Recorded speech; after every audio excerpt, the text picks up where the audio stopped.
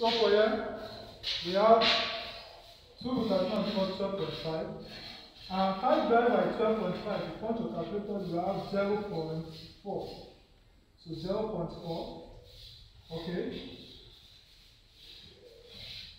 You have 0.4. Now, if I have 0.4, if you are to continue solving, you take this cos to the other side.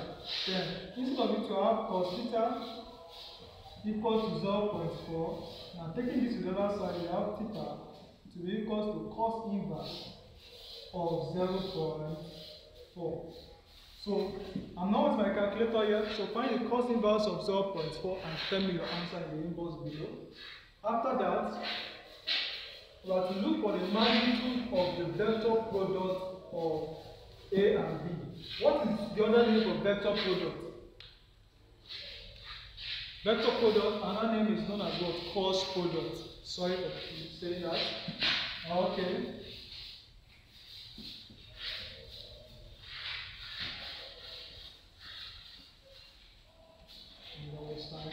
So I'm going to look for the cross product, that is for IB.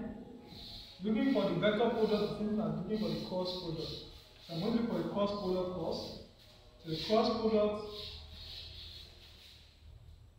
and that is me having, we are going to I, J, K. Coefficient of this I is what? Is 1. Coefficient of this J is what? 1. K is what? Minus 2. And the other one is what? 3, 4, 1. If I solve, I, 1, uh, if I close here, 1 times 1 is what? 1. 4 times minus 2 is what?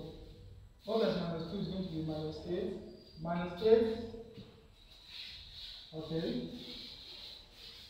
There's minus here. So, let me bracket it instead. Um, my 1, the 1, this there and this instead. Um, next one is going to be minus j. Yes, minus j. Into bracket, I close this inside, yes, here is 1. If I close the inside, I'll be having 1 times 1, that is 1, minus, minus 6. Okay, and next one is going to be having plus k instead, plus k. And if I close here, 1 times 4, that is 4. And minus 3, okay, that's good. Uh, so I now, minus times minus is plus, 1 plus 8 is what? Is 9. So I'll get to be 9i. And here, minus minus is what is plus. 1 plus 6 is what? 7. 7 times minus j is minus 7j. Okay. 4 minus 3 is 1. 1 times k is going to be k again, and that is going to be plus k. So these are our what? Our vector product, which is also known as our cross product. Uh, so now they ask me to look for the magnitude of it. Now, looking for the magnitude of this now.